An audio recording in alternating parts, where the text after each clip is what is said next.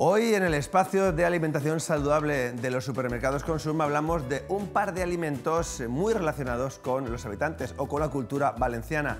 Hablamos hoy del conejo y el pollo.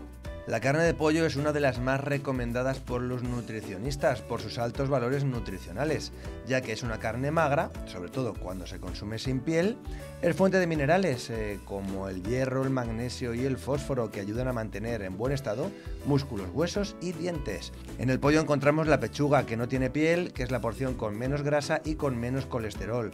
El muslo y la pata, por el contrario, tienen menos proteínas, pero el triple de grasa que la pechuga. El ala es bastante hipocalórica.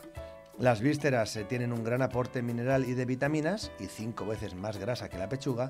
Y el hígado con nueve veces más colesterol que la pechuga, pero más hierro. En cuanto al conejo, España es el principal país productor de carne de conejo de la Unión Europea con 950.000 canales de conejo a la semana.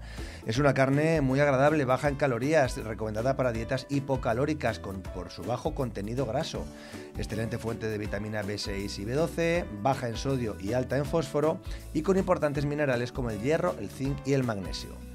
¿Qué beneficios tiene? Pues que un consumo bajo de sodio contribuye a mantener la tensión arterial.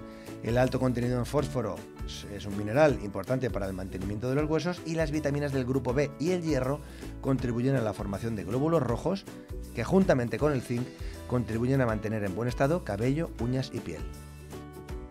Pues ya saben, al horno, al ajillo, guisado, a la plancha o dentro de la paella, siempre son un buen elemento para nuestra cocina. Hasta el próximo día, adiós.